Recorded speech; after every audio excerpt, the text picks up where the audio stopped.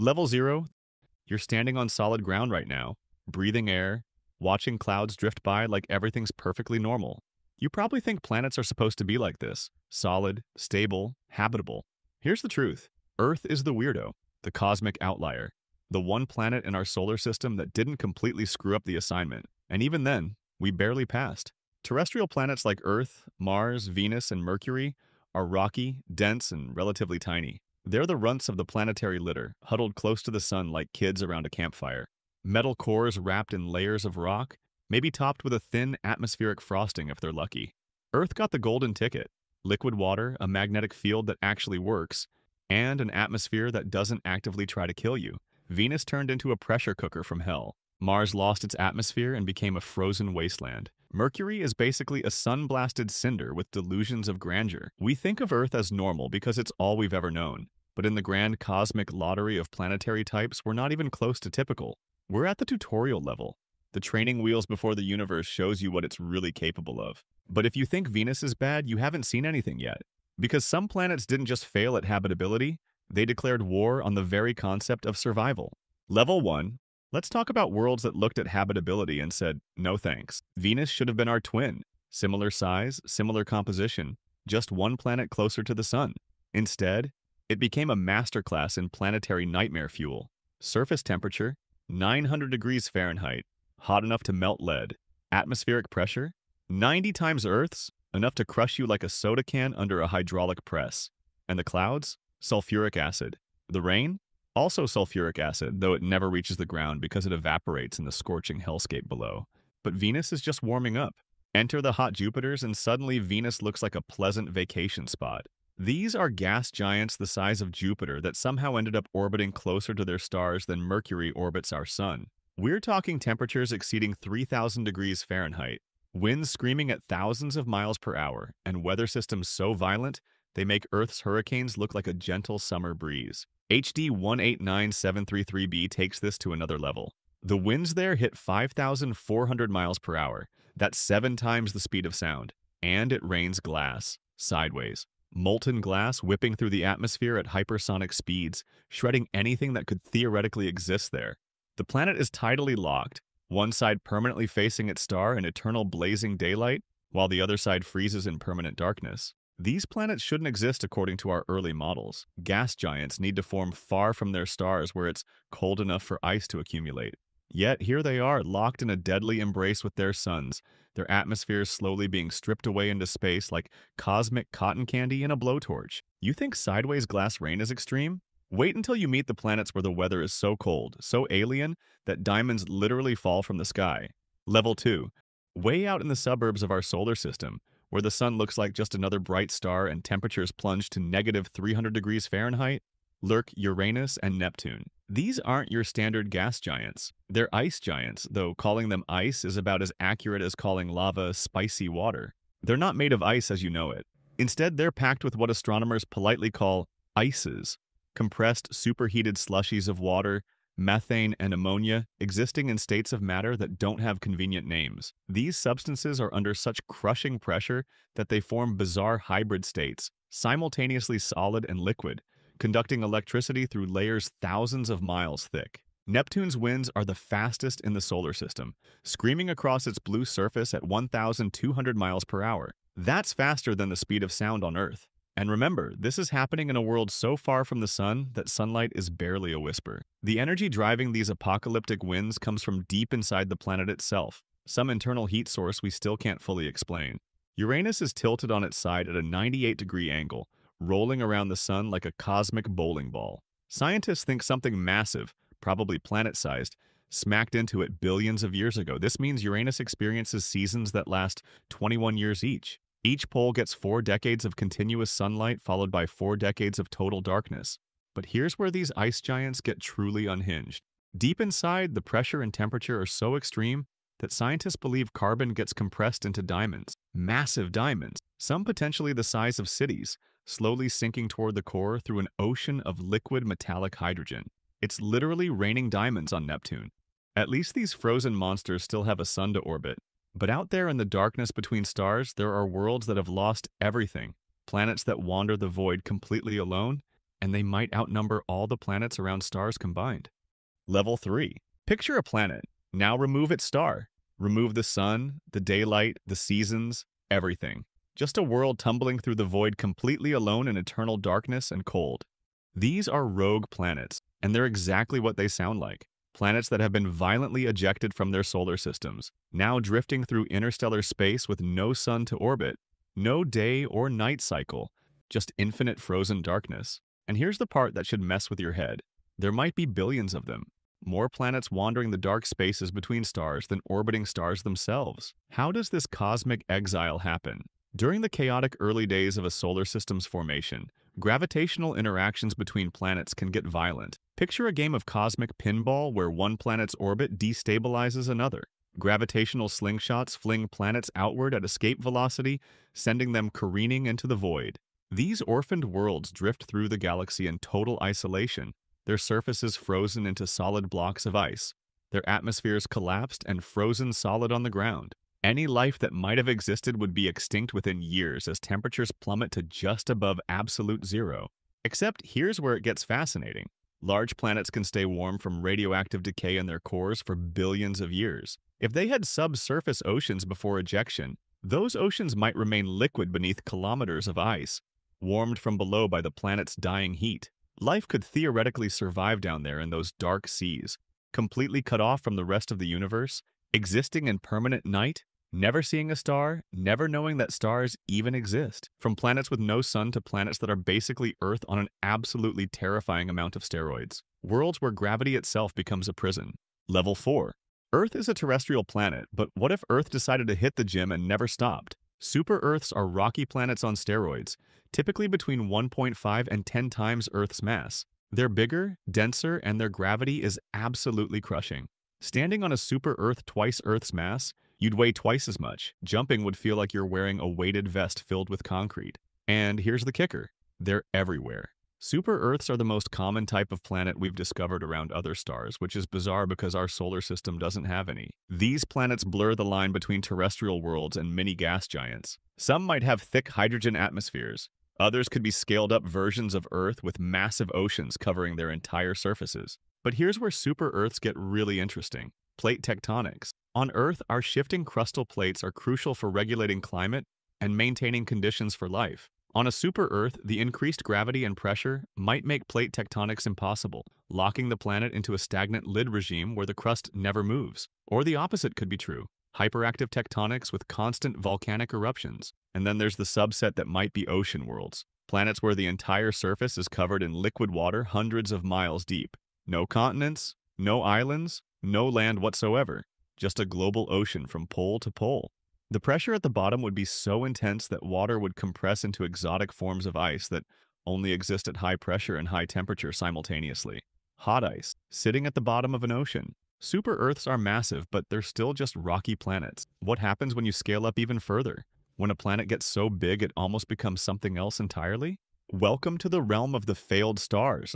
Level 5 Jupiter and Saturn the undisputed heavyweights of our solar system. Jupiter is so massive that 1,300 Earths could fit inside it, and yet it's still mostly just atmosphere.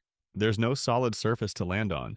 If you tried, you'd just keep sinking, the pressure mounting, the temperature rising, until you were crushed and incinerated somewhere in the depths of an endless swirling atmosphere. These planets are basically failed stars. If Jupiter had been about 80 times more massive, it would have ignited nuclear fusion in its core and become a star itself. As it stands, Jupiter still radiates more heat than it receives from the Sun, slowly contracting and releasing gravitational energy accumulated from its formation. The Great Red Spot on Jupiter is a storm larger than Earth that's been raging for at least 350 years, possibly much longer. The wind speeds reach 270 miles per hour at the edges, and the whole thing rotates counterclockwise every six days. It's shrinking, though, getting smaller year by year, and Nobody knows if it'll eventually dissipate or restabilize. Saturn holds the title of least dense planet in our solar system.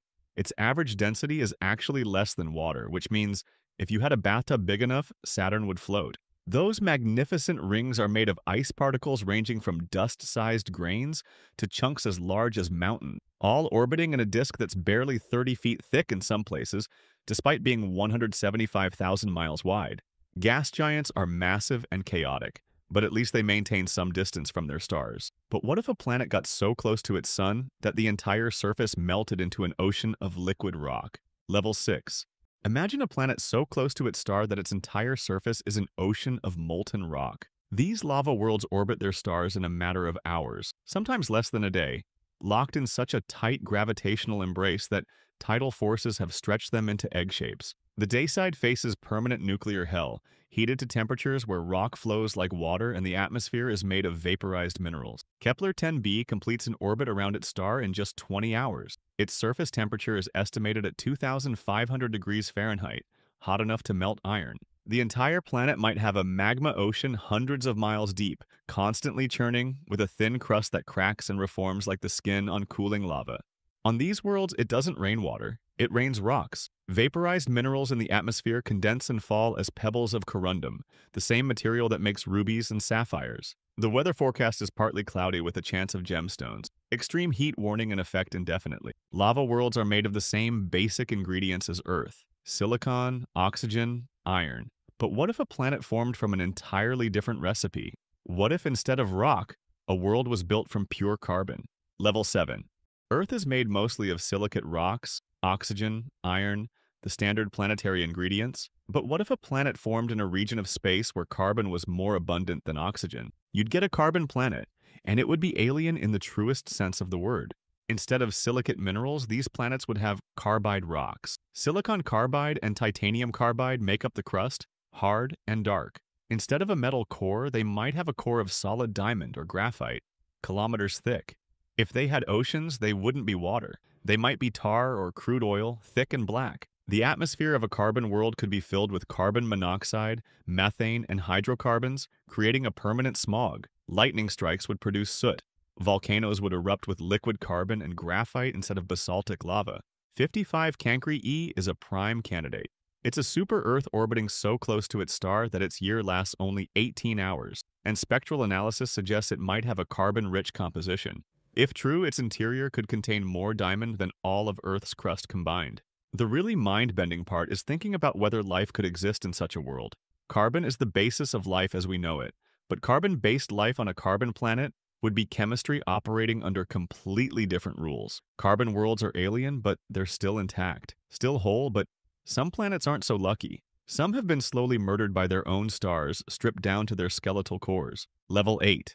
These are the skeletal remains of planets that used to be massive, but got too close to their stars and paid the ultimate price. A Chthonian planet starts life as a hot Jupiter, a gas giant orbiting dangerously close to its star. Over millions of years, the intense stellar radiation strips away the outer layers of the atmosphere.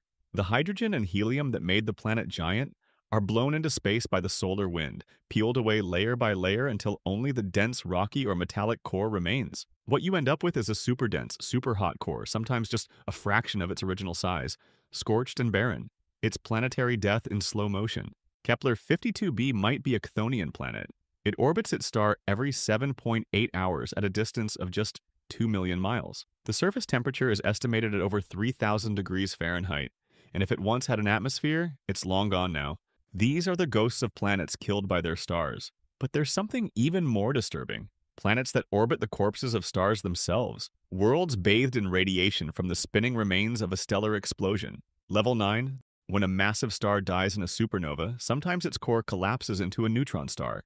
A city-sized object so dense that a teaspoon of its material would weigh a billion tons. Some spin hundreds of times per second, emitting beams of radiation from their magnetic poles. These are pulsars, and sometimes impossibly they have planets. These pulsar planets shouldn't exist. The supernova that created the pulsar should have destroyed any planets in the system. Yet we've found them, small worlds orbiting the rapidly spinning corpses of dead stars, bathed in lethal radiation. The first confirmed exoplanets ever discovered were pulsar planets, orbiting PSR B 1257 plus 12 in 1992. There are three of them, two roughly Earth-sized and one about the mass of the Moon. They're likely made of the ashes of the supernova itself. Second-generation planets formed from the debris disk after the star's death. Standing on a pulsar planet, you wouldn't see the sun. You'd see a small, dim object barely visible, emitting almost no visible light, but the radiation levels would kill you in microseconds. These are planets in name only, hellscapes orbiting a cosmic graveyard. You think orbiting a dead star is extreme? We're about to enter territory where the laws of physics themselves start to bend. Planets so strange they shouldn't be possible at all. Level 10. Now we venture into the realm of planets that push the boundaries of physics into territories that seem like science fiction. Coreless planets. Planets with no metallic core at all, just layers of ice and rock all the way through. These would have weak or non-existent magnetic fields, leaving them vulnerable to stellar radiation stripping away their atmospheres. Iron planets, planets that are almost entirely metal, iron, and nickel cores exposed to space with little to no rocky mantle. Mercury is partially like this with an unusually large iron core making up 70% of its mass. And then there's the most extreme, a planet orbiting a black hole. In Interstellar, they depicted Miller's planet orbiting close to a supermassive black hole, where time dilation meant one hour on the surface equaled seven years elsewhere. While the movie took creative liberties, the physics isn't entirely impossible. A planet orbiting in the habitable zone of a black hole would need to be far enough away to avoid being torn apart by tidal forces, but close enough that Hawking radiation could provide warmth. You'd be orbiting in permanent darkness, no sun, no stars visible beyond the distortion of spacetime around the black hole.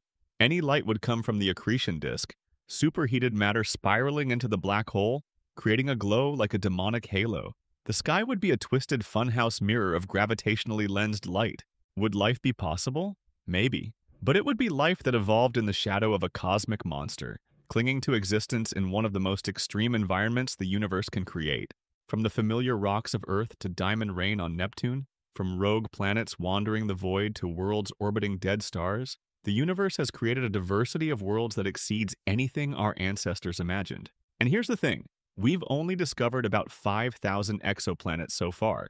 There are an estimated 100 billion planets in our galaxy alone. We've sampled 0.0000005% of them, which means somewhere out there, there might be a planet type so strange, so fundamentally different from anything on this list, that when we finally detect it, We'll have to invent entirely new categories just to describe what we're seeing. The universe isn't done surprising us, it's just getting started.